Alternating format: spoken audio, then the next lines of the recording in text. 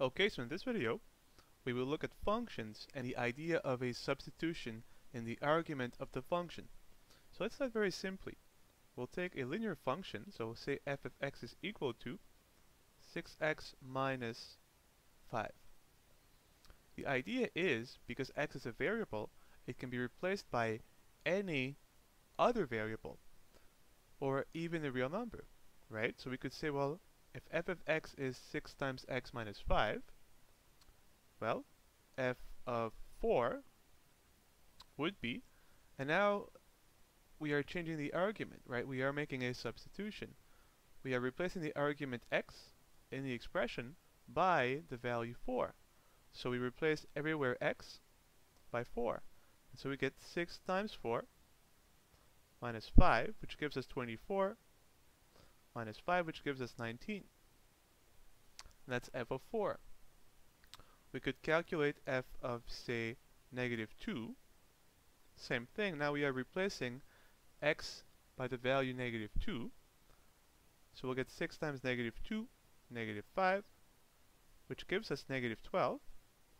Negative 5, which gives us negative 17. We can also replace x by not only real numbers, but by other variables. So for example, we could replace x by say 2x plus 1. So now we are making a more interesting substitution, right? If you go back, f of x equals 6 times x minus 5. But now we are replacing x by the new variable 2x plus 1. So let's replace everywhere in the expression where there's an x by the new argument 2x plus 1. So we get 6 times, no longer x, but 2x plus 1. Be careful to have parentheses here, as all of the argument, which is now 2x plus 1, is being multiplied by 6. There is no x with the 5, and that's just negative 5. And now we can simplify. Multiply out, we'll get 12x plus 6 minus 5, which gives us 12x plus 1. We could replace x by, say, a quadratic polynomial. x squared minus 6x plus 4. Once again, we are replacing x everywhere in the expression by the new argument, which is x squared minus 6x plus 4. So we get 6 times the new argument, x squared minus 6x plus 4 minus 5. There's no x, so it stays negative 5. We can multiply out 6x squared minus 36x plus 6 times 4, 24, minus 5, positive 19. Let's make one more substitution. We could replace the argument x by, say, a rational function. What about x minus 1 over 2x plus 3?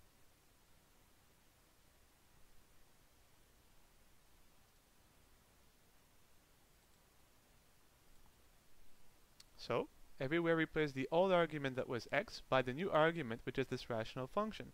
So 6 times the new argument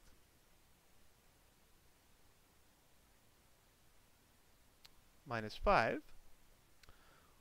We could combine as a single fraction. So 6x minus 6 over 2x plus 3 minus And to have a common denominator, we'll multiply top and bottom by 2x plus 3. So what will that give us? 6x minus 6 over 2x plus 3 minus, we can multiply now the numerator by 5, which will give us 10x plus 15 over 2x plus 3 And be careful the negative is applied to the entire numerator. And now as both fractions are under a common denominator, we can combine. So we'll get 6x minus 10x, which is negative 4x, negative 6, negative 15, negative 21 over 2x plus 3. So there you go.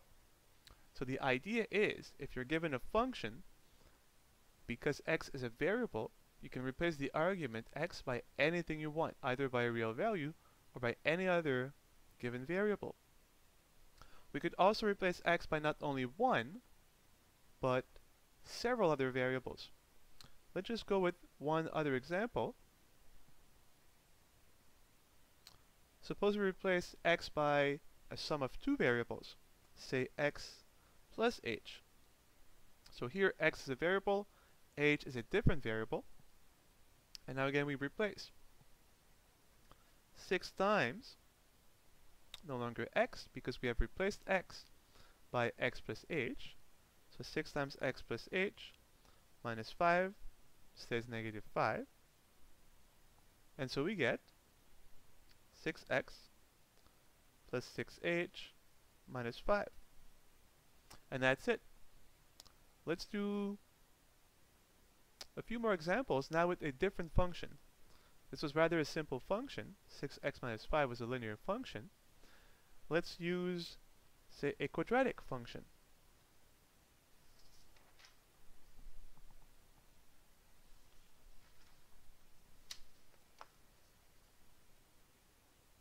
And then we'll use a rational function. So what if we take f of x to be 5x squared minus 2x plus 3.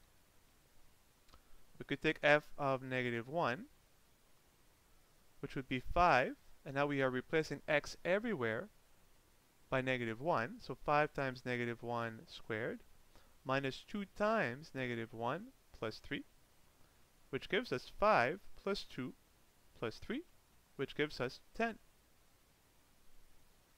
Well, let's replace now x by a linear polynomial. So say f of x will now take f of minus 3x plus 4. So we are replacing everywhere in the expression the old argument that was x by the new argument, which is negative 3x plus 4. So we get 5 times, no longer x, but negative 3x plus 4 squared minus 2 times, no longer x, but negative 3x plus 4 plus 3, there's no x, so it stays plus 3. And now we can simplify. We could square this, and then regroup similar powers of x. So we'll have 5 times, if you square this, you'll get 9 x squared minus 24 x plus 16. Multiply this one out. Positive 6x minus 8 plus 3. And now we can multiply through by 5 and then regroup at the same time. There's a single quadratic term, 9x squared, times 5 is 45, x squared. 5 times 24, well 5 times 20 is 100, 5 times 4 is 20, so it's 120, but it's negative 120, plus 6x.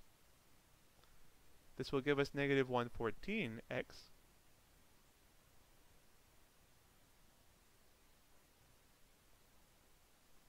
and the constant terms, well 5 times 16 is 80, minus 8 plus 3 is minus 5, this will give us positive 75.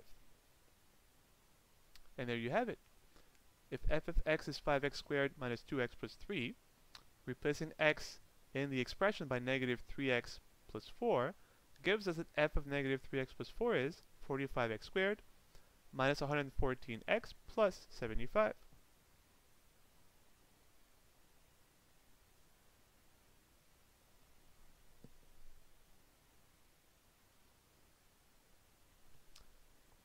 Let's do one more example, now where the function is a rational function.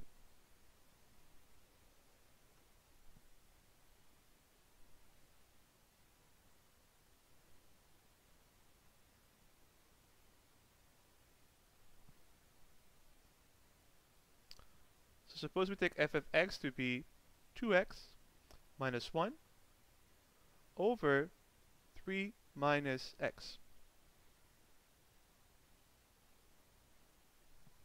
So we could evaluate f at, say, a real number. We could take f of 1 half.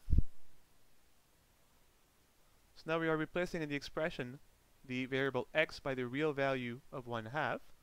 So everywhere where there is an x, we have to replace it by 1 half. So we have 2 times 1 half minus 1 over 3 minus 1 half.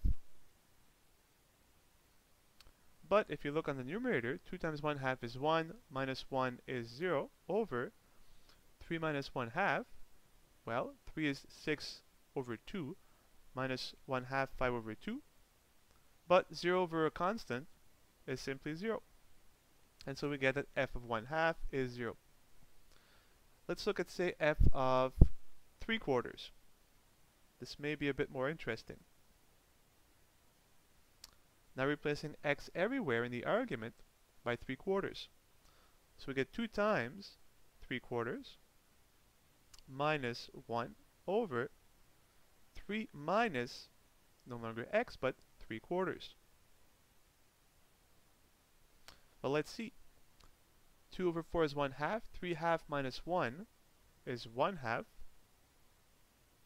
Divided by, well, 3, if we put this over 4, it will be 12 over 4. So we have 1 half divided by 12 minus 3, 9, so 9 quarters. Well, we are dividing 1 half by 9 quarters, if you divide by a fraction, you multiply by the reciprocal. So 4 over 9. But 4 over 2 is 2, and so we're left with 2 over 9. And so f of 3 quarters is 2 over 9. Let's do two more substitutions. Let's look at f of, say, 5x 8. now replacing x everywhere in the expression by 5x minus 8. So we get 2 times 5x minus 8 minus 1 over 3 minus, and here be careful to open your parentheses, because all of x is being negated, and so you have to negate all of the new variable, which is 5x minus 8. We can simplify a little bit. Multiply across by 2 and subtract the 1, 2 times 5x 10x, minus 16 minus 1 minus 17, over. Negative 5x, but negative negative 8 is plus 8, plus 3 is 11, minus 5x. There you have it. Now, let's do one last substitution. Let's replace in our rational function of x, x by another rational function and then we'll simplify it. So suppose we evaluate f of, say, 4x plus 3 over x plus 1. So now we are replacing, we are replacing, sorry, everywhere in the expression x by 4x plus 3 over x plus 1. So we get 2 times this fraction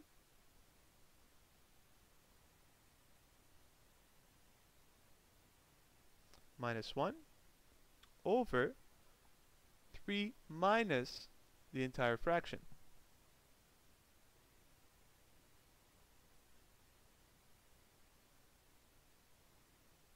Of course now this looks rather silly. Let's simplify as a single fraction. Let's multiply our numerator by 2, which will give us 8x plus 6 over x plus 1. 1, of course, is x plus 1 over x plus 1. over, well, to simplify we need this to be an over x plus 1, so multiply top and bottom by x plus 1. And if you multiply out, you'll have 3x plus 3 over x plus 1 minus the fraction 4x plus 3 over x plus 1. Let's perform the two subtractions.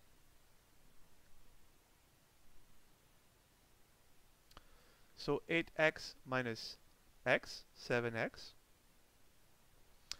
6 minus 1 plus 5 over x plus 1. This is our numerator. All over 3x minus 4x, so negative x. 3 minus 3, 0. So we get negative x over x plus 1. And as before in the case of 1 half over 9 quarters, if we divide by a fraction, we multiply by its reciprocal. So let's do the same thing here. Our numerator is 7x plus 5 over x plus 1.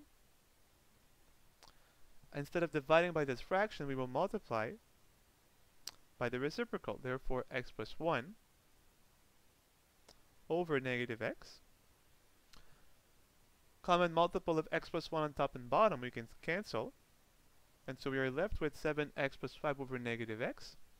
This looks kind of silly, so we'll move the negative as a constant multiple. So negative of 7x plus 5 over x.